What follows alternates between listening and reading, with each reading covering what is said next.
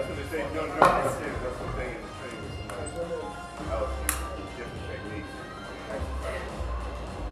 So right from here, the people is here, and then literally you just shift these here. So you're squeeze, you're really just the aim right at full. You just do like 10 and feel Sure.